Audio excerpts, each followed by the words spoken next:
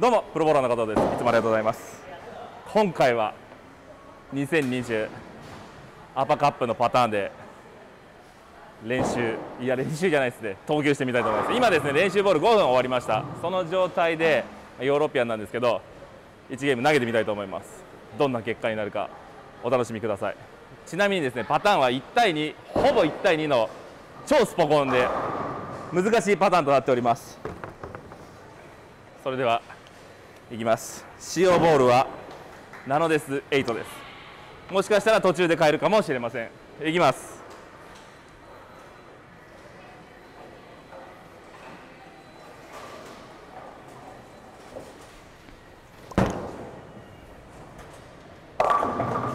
はい。厚め。5の外に出た瞬間にもう戻ってこないんですよ。なので外を怖がって打ちミスしました。それじゃいけません。スポコンはスペアが大切です。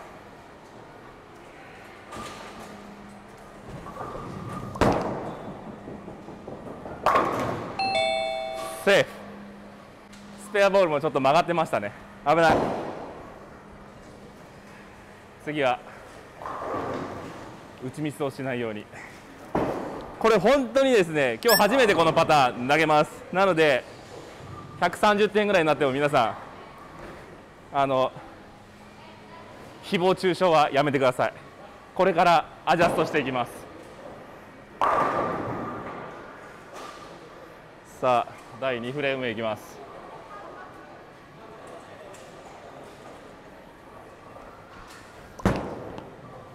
これでどうだ？曲がる。あそこからでも出したら絶対曲がらない気がするんですよね。でやってると1ゲームあっという間に終わっちゃうんですよねスポコンって。本当に難しいです。ちょっと曲がったんでアジャストしましょう。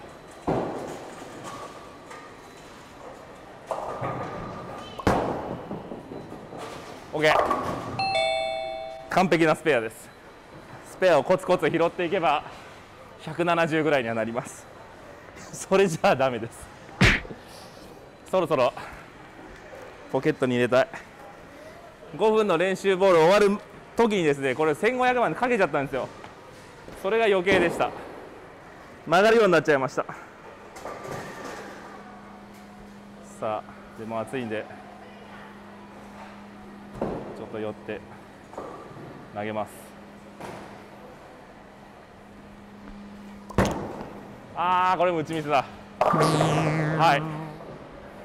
すごいビビってる外。やばすぎる。こういうのは試合にとっておきたいです。いきますよ。そろそろジャストで。ストライクでダボっちゃいます。さあ。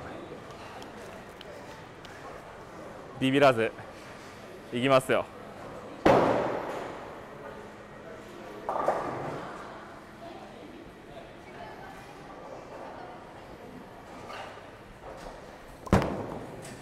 さあ来いよし。OK ちょっと出過ぎたかなと思ったんですけど曲がってきましたね。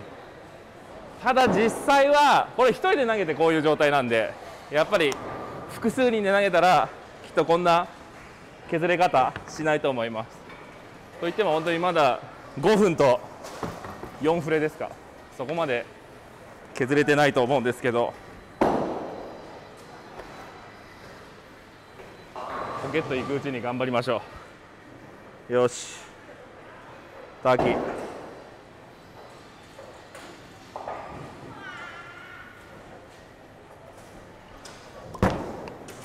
さあ来い。よし。ただですね実際ポートボールはですねウッドレーンなのでまた感じ方は全然違うと思います、はい、今この横須賀のレーンでやると僕の球質だとあの辺かなと。この外に出ないように。投げるのがいいんじゃないかなと思ってます。スタートはですよスタート。これまで本当に引いて練習ボール5分しかしてない状態なので。さあログレいきます。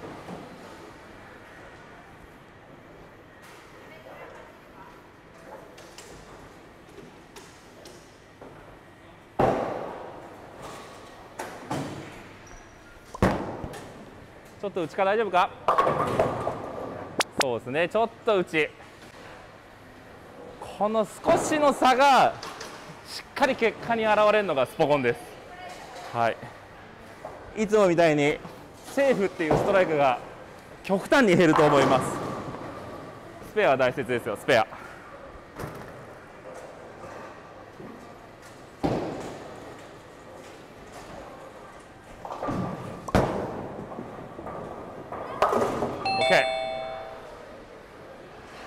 順調に半分終わりましたね。これから後半いきたいと思います。さあどうぞ。はい。しっかりメンテさせていただきました。さあいきます。7フレ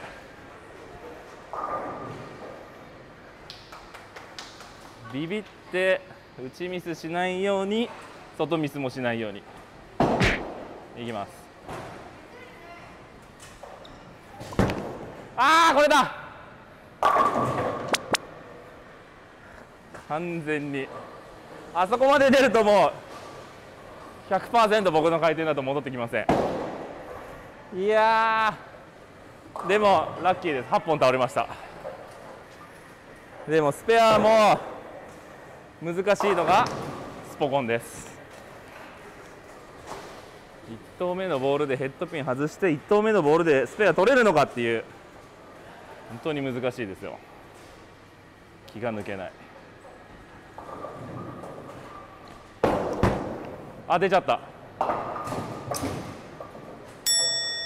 これですよ。めっちゃ難しい。もったいないな。ターキー出たのに。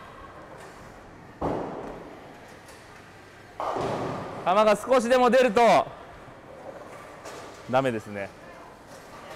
それを選抜大会までにしっかり調整して臨みたいと思います。さあもう一度8フレ出しすぎない。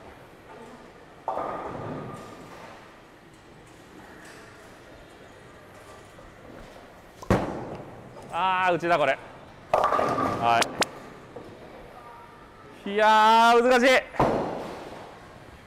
もっとあそこでポケット行ってくれればいいんですけどね。そんなやっぱ都合のいいボールはなかなかないと思います。スペア。スペア大切ですよ。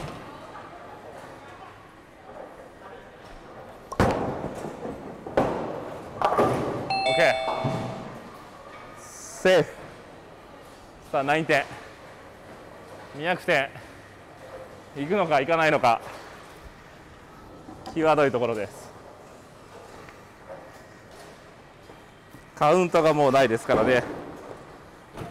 さあ打ちミスしないように。もう1枚だけ寄ってみようかな。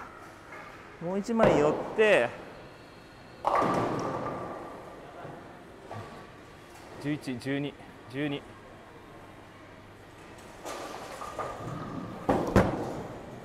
これどうぞ。よし。OK ちょっと出てる気がするんですけどあれくらいなら大丈夫っぽいです。はい。めっちゃ汗かいてる。緊張と。何ですか？プレッシャー。一緒か。はい。これくらい集中力を持って臨まないといけないのがスポコンです。もう一度。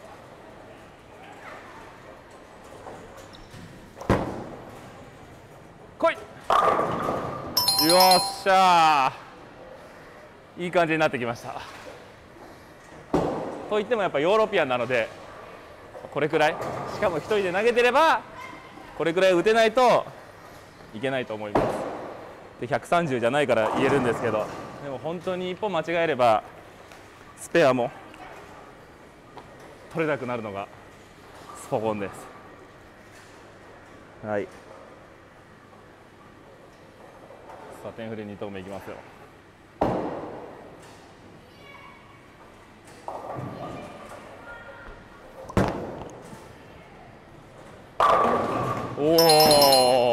い感じになってきました。はい。さあラスト。222までありますか。はい。いい感じですね。最後ストライクで締めてしっかりまた練習したいと思います。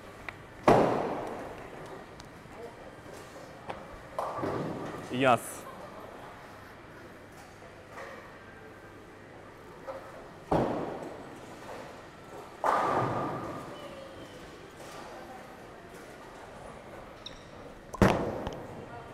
あー出た。